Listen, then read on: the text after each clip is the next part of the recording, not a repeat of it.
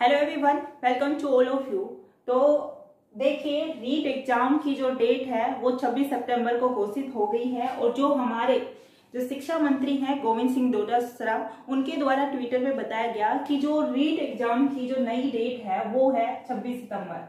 यानी 26 सितंबर को रीट एग्ज़ाम होने को मतलब आयोजित होने का निर्णय लिया गया है और जो भी student E W S category में आते हैं, ठीक है? तो उनकी जो फॉर्म फिल है, वो 21 जून से 21 जून से 5 जुलाई तक वो अपने फॉर्म को फिल कर सकते हैं।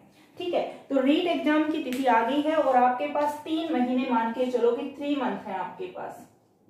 यानी कि आज 17 जून है और 17 जून से आपके पास देखिए, जुलाई है, अगस्त और सितंबर यानी कि थ्री मंथ आपके पास है और इत, बस ओनली ये जो टाइम है आपके पास ये आपकी ओनली रिवीजन का टाइम है। ठीक है? तो जो भी आपने पहले तैयारी कर रहे थे जो स्टूडेंट वो अपने रिवीजन को अच्छे से कीजिए और जो भी साइंस के स्टूडेंट हैं उनको मैं बता दूँगी जो बायोलॉजी के कंप्लीट जो चैप्टर है जो रीट एग्ज़ाम में पूछे जाते हैं तो वो ऑलरेडी अपने चैनल पे मैंने अपलोड किए हुए हैं।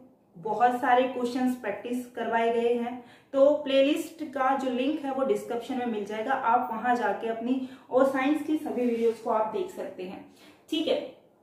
तो ये आपकी नई डेट बताने के लिए मैं आपके सामने आई कि जो रीट एग्ज़ाम की जो न्यू डेट है 26 सितंबर है और ईडब्ल्यू e कैटेगरी के जो स्टूडेंट हैं, उनकी जो फॉर्म फिल है, वो 21 जून से 5 जुलाई के बीच में होने वाली है। ठीक है? तो मिलते हैं नेक्स्ट वीडियो में। अपनी प्रिपरेशन को अच्छे से कंटिन्यू रखना और अपना ध्यान रखना। धन्यवाद।